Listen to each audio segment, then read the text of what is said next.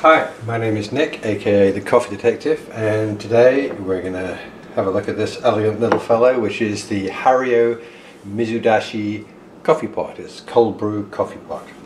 By way of comparison, I've got here um, another cold brew system that I use quite a bit, the uh, the Toddy.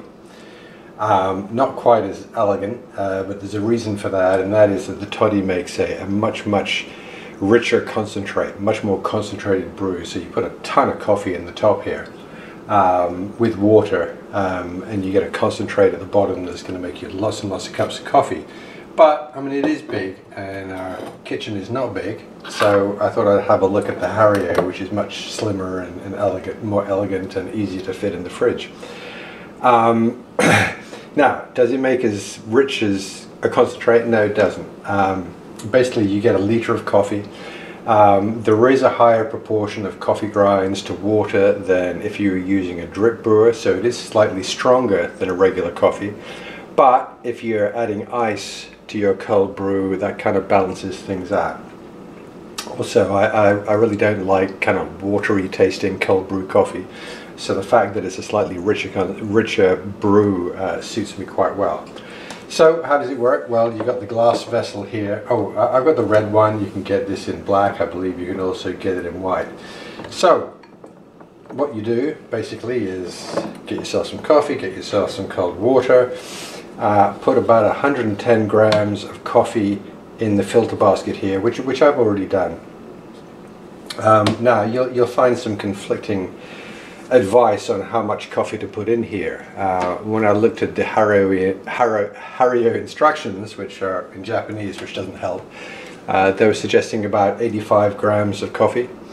Um, elsewhere, I've seen people say, hey, put 125 grams of ground coffee. Uh, what I've found is, I've tried this a couple of times now, that about 110 grams, you know, I, I used my scales the first time, measured out about 110 grams, um, you know, splitting the difference a bit. And what I found actually is that 110 grams comes just up to the top of the filter material here, which is great because I don't want to have to measure out every time. I just want to pour it in and, until I get to here. The grind of the coffee, uh, it should be somewhere like in between the grind for drip brew and the coarser grind for uh, like a French press uh, brewer.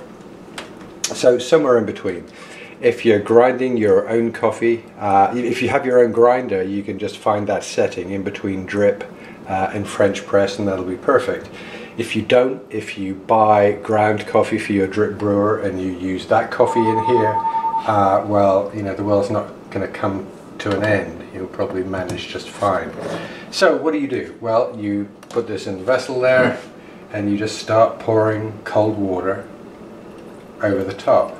Um, as you're doing that, the first few pours, because it takes a few pours, you, you want to stir things up a little bit. I'm just using the, the handle of a spoon here, because uh, I want to make sure all the coffee is, you know, equally wet and that my extraction is, is even from all of the coffee. Um, and you just keep going like this. Um, I'm probably good for stirring there, making a bit of a mess. So as I keep pouring, uh, th there's a couple of reasons to make cold brew coffee. Uh, one is, of course, that it's great uh, during hot weather in the summer. Um, and, you know, hey, not, it doesn't just have to be black coffee with ice cubes. You can do all kinds of stuff with cold coffee. Um, the other reason uh, that I hear about a lot is that, you know, some people have sensitive stomachs and they you know, they, they, they find coffee, regular coffee, to be a little bit too acidic and uncomfortable. Um, and one of the things about cold brew coffee is that the entire process is, is done cold. There's no heat applied. And as a result, the coffee that you make is, is a little bit smoother, but it is significantly less acidic than the coffee you get out of any kind of hot brew method. Um, so very popular for people who, who don't like the acidity in coffee but do like the taste. So uh, I'm not going to wait until we've gone all the way, but basically, you know, I'm going to keep pouring. Uh, and when it's up to about here, the top of the glass there, I'm going to stop. And then I clip the lid on the top and I put the whole thing in the fridge and I leave it there uh, for 12 to 18 hours. You keep the, you know, you keep keep the filter in here, keep everything immersed together uh, for 12 to 18 hours. So basically, that for me now, that's going to be tomorrow morning sometime. Uh, so then I'll take it over to the, the sink. I'll remove uh, the filter um, and clean that out. Actually, the, the, the bottom here just screws off. Um, and I actually put this. I actually put this in the um, in in my compost because I got a back nice back garden. Uh, then once you've done that,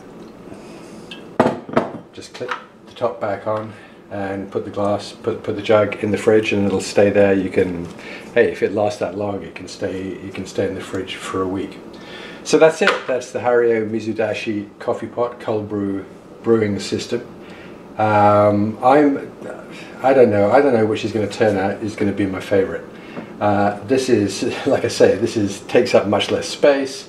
Uh, but if I use the toddy, then maybe I won't have to brew quite so often because, it, like I said, it's much more concentrated and lasts longer. So time will tell. But you know, on the face of it, I really like this kind of slimmer, more elegant approach. Okay, I hope you found that useful. Thank you very much. Bye bye.